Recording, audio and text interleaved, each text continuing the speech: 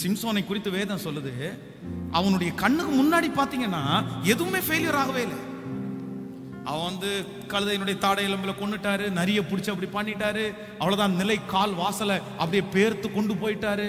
அவங்க வந்தோடனே எந்திரிச்சிட்டாரு. எல்லாம் சக்சஸ் ஆனா அவனுடைய பின்னாடி வாழ்க்கையை பார்த்தா தோல்வி அடைஞ்சிட்டே வர்ற மாதிரி கத்தரை விட்டு பின்னாடி போறது மாதிரியே கடைசியில ஒரு நாள் பாருங்க அவன் நினைத்திருக்காத மாதிரி ஒரு சடுதியாய் ஒரு சோதனைக்குள்ள தள்ளப்பட்டுட்டான். அதனால எப்பவுமே ஆண்டவருடைய பிள்ளைகள் ரொம்ப ஜாக்கிரதையா இருக்க வேண்டியது என்ன அப்படின்னா என்னுடைய வெற்றியை பார்த்து மட்டும் நான் என்ன பண்ணிட மாட்டேன்னா ஓடிடவே மாட்டேன். ஒரு கண்ணு நமக்கு எப்பவும் பின்னாடி பார்த்துட்டே இருக்கணும். என்னுடைய தோல்வி என்ன? என்னுடைய தோல்வி என்ன? அந்த தோல்வியை எதில் சரி பண்ண முடியும் அப்படின்னா ஆண்டவரோடு உள்ள உறவில் மட்டும்தான் சரி செய்யவே முடியும்.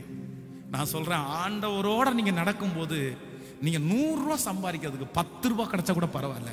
நீங்கள் அதில் திருப்தி அடைங்க. அந்த பத்து ரூபாயே உங்களுக்கு சமாதானம் இருக்கும். அந்த பத்து ரூபாயே உங்களுக்கு சந்தோஷம் இருக்கும். அந்த பத்து ரூபாயே உங்களுக்கு மிச்சம் வரும்.